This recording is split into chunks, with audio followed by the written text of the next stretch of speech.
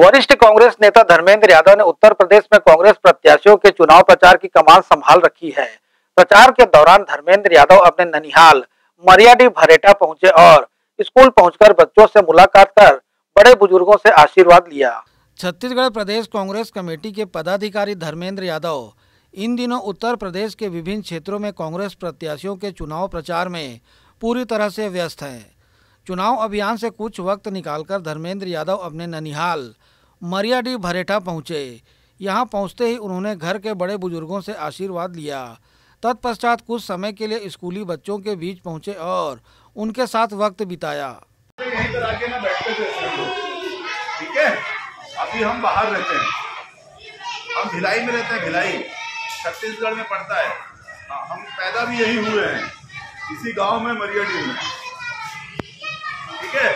हम ये जो हमारे मामा है ना, वो प्रधान थे, नाना सब लोग। कौन कौन जानता है? कोई नहीं जानता। है सब बच्चे, लेकिन तुम लोग पढ़ना बेटा, ठीक है? हम लोग भिलाई में रहते हैं, छत्तीसगढ़ भिलाई है ना, वहाँ रहते हैं। छत्तीसगढ़ का नाम सुना है? नहीं सुन- हाँ? सुने? भिलाई स्टील प्लांट, बहुत बड़ा प्लांट है। जहाँ पर लोहा बनता है लोहे का कारखाना है हाँ? वहाँ पर वहाँ हम लोग रहते हैं लेकिन हमारा पैदा पैदा हम यही हुए हैं। और वहाँ पर हमारा छोटा भाई विधायक है कांग्रेस से और हम भी नेता हैं। ठीक है? ये तो है हमारे ये ये देखो ये मेरे छोटे वाले भाई की बेटी है ये। ये प्रधान जी की। हाँ? ये तो पहचानती होगी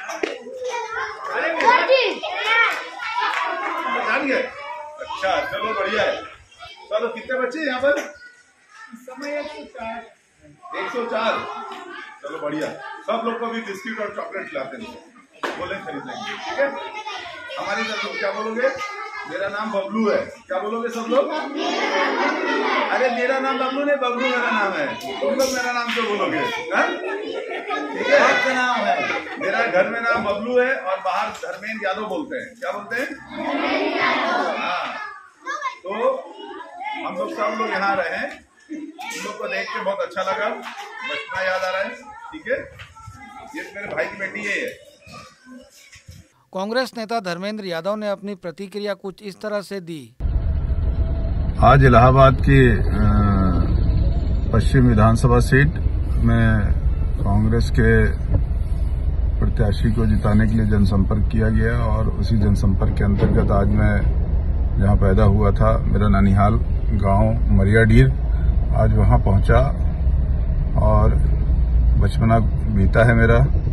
क्लास टू तक मैं यहाँ C A T C air force का स्कूल है यहाँ पढ़ा भी हूँ। और बहुत लोगों से मुलाकात हुई सबसे आशीर्वाद लिया। और काफ़ी परिवार के लोगों का ध्यान आया ननिहाल पक्ष के लोगों का। और अ, सभी से समर्थन मांगा और कांग्रेस के प्रत्याशी को विजयी बनाए बहरहाल धर्मेंद्र यादव ने उत्तर प्रदेश में कांग्रेस प्रत्याशियों की जीत का दावा किया है और कांग्रेस की सरकार बनने की बातें कही हैं। ग्रैंड एशियन न्यूज़ के लिए संजय दुबे।